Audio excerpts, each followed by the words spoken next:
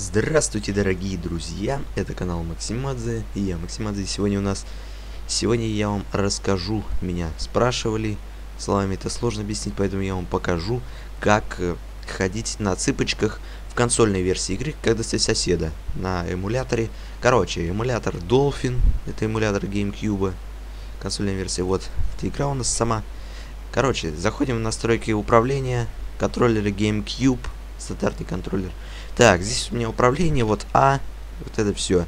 Он просто ходить, это просто ходить, просто ходить.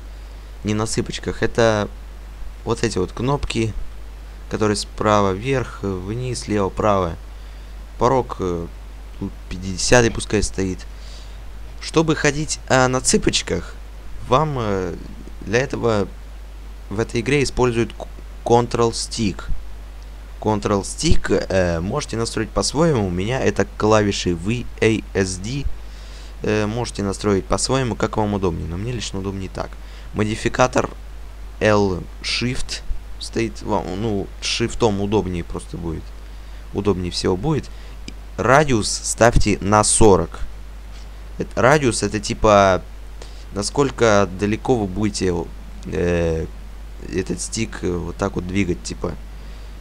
Вы ставьте, ставьте на 40 его, чтобы когда вы ходили на цыпочках, он у вас э, э, индикатор шума не поднимался ни у кого. Он будет ходить на цыпочках так, как надо. То есть, типа, и просто, короче, когда вы будете играть, э, VASD клавиши используйте для хождения на цыпочках. И он у вас тогда будет как бы до самого конца туда.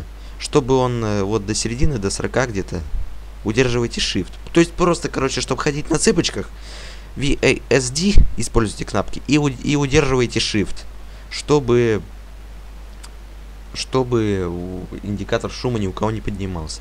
Надеюсь, вы... Короче, сделайте управление так, как у меня. И, в, в общем, надеюсь, вы поняли, как правильно ходить на цыпочках.